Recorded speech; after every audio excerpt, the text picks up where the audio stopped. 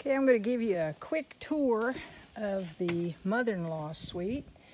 We have an outside door that is beside the garage that leads to a set of steps that goes up into what we call the mother-in-law suite. And you see there's a lot of spider webs up here. So we're going to have a beautiful door overlooking the green tree line out here. When we get to the top of the stairs, we're going to trade this French door out with a sliding glass door so we don't have to worry about the doors opening up into the space of the mother-in-law suite. And if you turn around, you see here it is. It's like a mini apartment. Uh, this is the kitchen area. We may be able to salvage some of the kitchen cabinets from downstairs to bring up here. We're gonna put a miniature refrigerator in here and probably some shelves above it. And then this will be our living room area. And we've got some nice bright windows here, all looking out onto the gorgeous greenery in uh, the outside. And then this will be I think this was supposed to be a hot water heater closet and storage, I guess.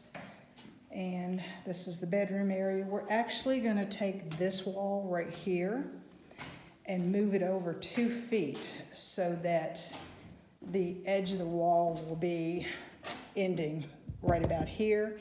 And the reason for having a bigger bedroom, believe it or not, is because um, we've got two standard size beds that we'd like to bring up here and fit in here. So if we ever have guests, they could either sleep together in one standard size bed or sleep separately, sort of like oversized twin beds. And then you have the master closet in here. Um, we may end up, you know, I'm not sure why we need a closet this big up here. But, you know, we'll leave it because it could be turned into maybe a miniature study room or something. And then uh, the hallway into the linen closet and then the bathroom, which has not been finished yet. But they do have the tub up here, so they must have brought that up before they before during the walls going up. And then there's still finishing work to be done. You could see that you could see daylight over the roof eaves.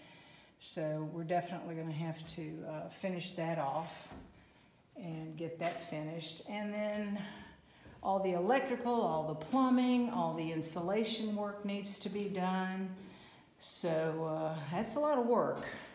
And it looked like they started to do drywall, but we have to come back and double check to see if one sheet of drywall will work. I think it won't. I think we have to have two, two sheets to make it fireproof between this part of the house and the rest of the house. But that's the uh, mother-in-law suite.